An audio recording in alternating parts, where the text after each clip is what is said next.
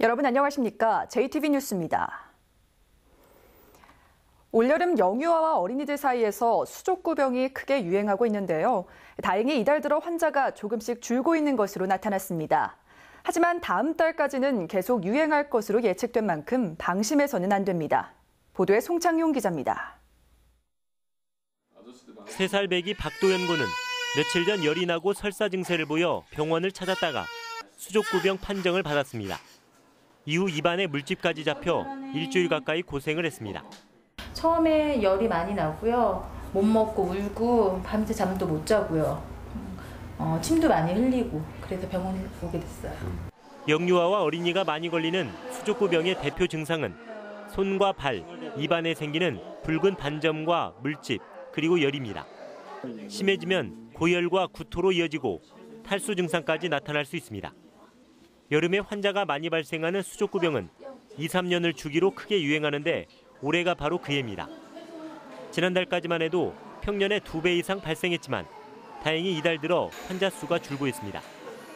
하지만 워낙 전염력이 강하고 최소 다음 달까지는 유행할 것으로 예측됐기 때문에 손 씻기 등 개인 위생에 더욱 신경을 써야 합니다. 어린이집에 다녀오거나 키즈 카페에 다녀오거나 수영장 같은 데 다녀왔을 때는 항상 양치하고 손 잘 씻고 어, 목욕도 해주는 게 사실 좋습니다. 목욕도 해서 몸에 있는 바이러스를 씻어내는 역할을 하기 때문에 자녀가 수족구병 진단을 받았을 땐 병의원을 찾아 치료를 받고 다른 사람에게 전파되지 않도록 일주일 동안 어린이집이나 학교, 학원 등에 보내지 않는 게 좋습니다.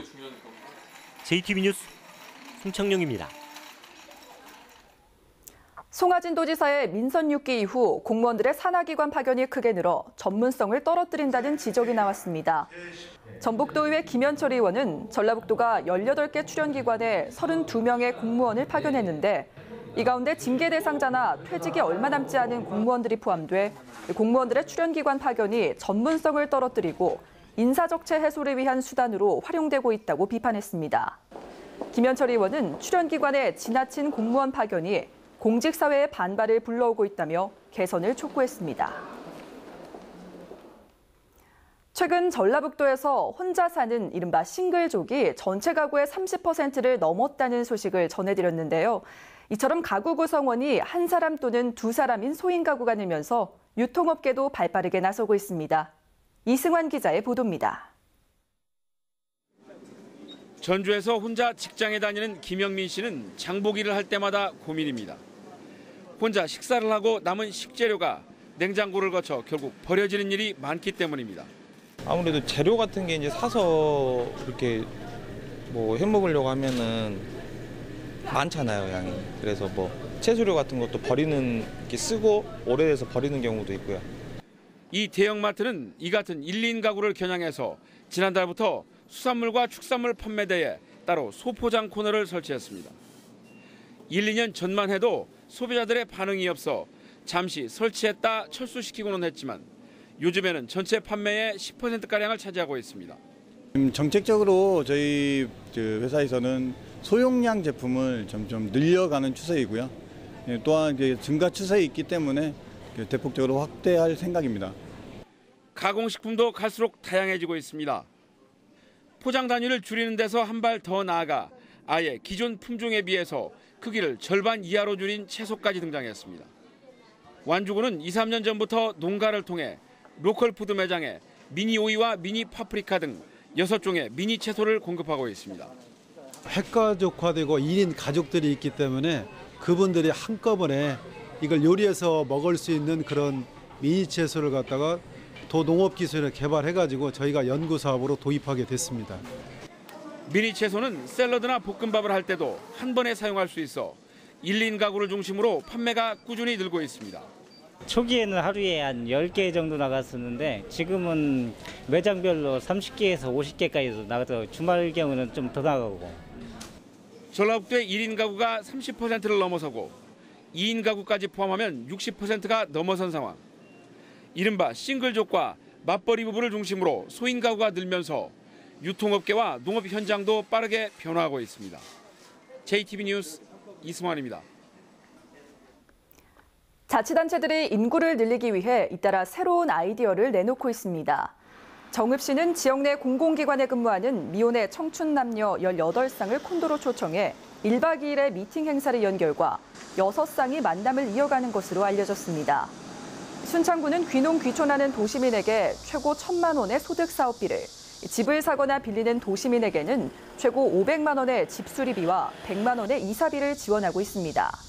그러나 자치단체의 인구 늘리기 정책에 한계가 있는 만큼 정부 차원의 정책적 지원이 시급해 보입니다. 전라북도 주택시장의 공급 과잉 우려가 제기됐습니다. 한국은행 전북본부는 최근 도내 주택시장 동향을 분석한 결과 2010년 이후 주택 보급률이 계속 상승하면서 2014년 112.9%로 전국 평균과 지방 평균을 웃돈 데 이어 2018년 아파트 입주 물량이 11,700호 규모까지 늘어날 것으로 예상했습니다. 그러나 수요 측면에서는 도내 인구 증가세가 둔화되고 주택 구입 실수요층 인구의 지속적인 감소가 예상돼 중장기적으로 주택 수요가 위축될 가능성이 있다고 분석했습니다.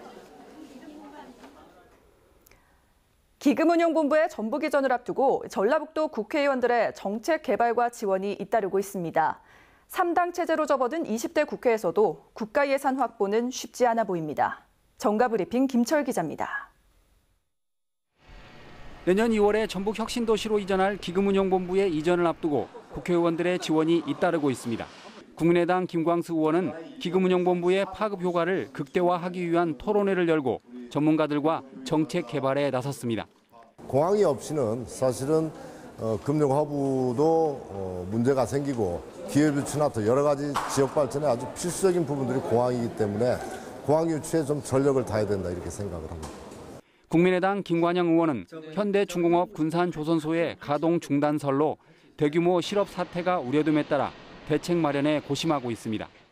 새누리당 정운천 의원이 전북도당 위원장으로 선출됐습니다. 정 위원장은 현재 1,500명인 새누리당 전북 책임당원을 올 연말까지 3,000명으로 늘려 생활 밀착형 정당 활동을 펼치기로 했습니다.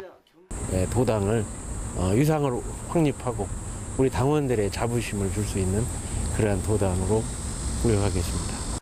3당 체제로 출범한 20대 국회에서도 전북의 국가 예산 확보가 신통치 않습니다.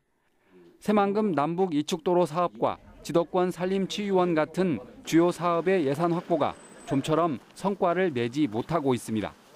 의원들은 3당 체제에서는 뭔가 달라질 거라고 큰 소리를 쳤지만 이대로 가면 전북의 국가 예산이 3년 연속 6조 원대에 머물 거라는 우려가 나오고 있습니다. JTB 뉴스 김철호입니다. 국민의당에 이어 새누리당이 전북 도당위원장을 확정했지만 더불어민주당은 도당위원장 선정에 어려움을 겪고 있습니다. 국민의당은 재선의 김관영 의원을, 새누리당은 초선의 정운천 의원을 도당위원장으로 선임했습니다. 그러나 더불어민주당은 삼선의 이춘석 의원이 도당위원장 출마를 고심하고 있는 가운데 초선인 안호영 의원과 4월 총선에서 탈락한 전직 의원 서너 명 가운데 누구를 도당위원장으로 뽑을지 정하지 못해 도당 운영에 어려움을 겪고 있습니다. 내년에 무주 태권도원에서 열리는 2017 세계 태권도 선수권 대회 성공 개최를 기원하는 세계 태권도인 한마당 행사가 오늘 전북도청에서 열립니다.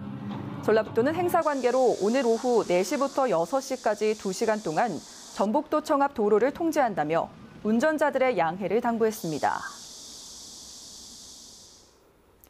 올해 하반기 전라북도 농지은행 사업비로 370억 원이 지원됩니다. 한국농어촌공사 전북본부는 농지은행 사업으로 상반기에 524억 원을 농가에 지원한 데 이어 하반기에는 370억 원을 농지 규모화 사업과 경영회생 지원 사업 등에 지원하기로 했습니다. 농지은행 사업의 금리는 농지매매 사업의 연리 1%, 과원 규모화 사업의 연리 2%가 적용되고 있습니다. 전라북도는 오늘 구름 많고 무덥겠습니다. 오늘 낮 기온은 완주 31도, 남원 30도 등 28도에서 31도의 분포를 보이겠습니다. 내일은 대체로 맑겠고 기온은 오늘보다 더 오르겠습니다. 내일 아침 최저 기온은 19도에서 22도, 낮 최고 기온은 29도에서 32도가 되겠습니다. 전주기상지청은 장마가 소강 상태를 보이면서 당분간 구름 많은 날씨를 보이다가 오는 토요일쯤 북상하는 장마 전선의 영향으로 비가 내릴 것으로 내다봤습니다.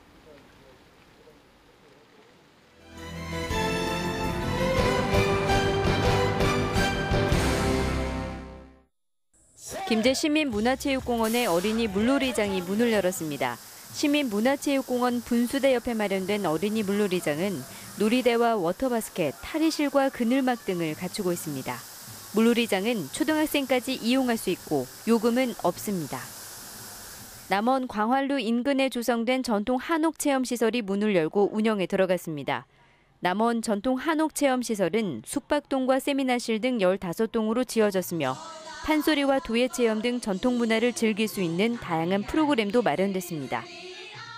진안 경찰서가 운이람 반이람을 찾는 피서객들의 안전을 위해 다음 달 15일까지 여름 파출소를 운영합니다. 운이람 반이람 여름 파출소는 경찰관들이 24시간 배치돼 피서지에서 발생할 수 있는 각종 범죄를 예방하게 됩니다.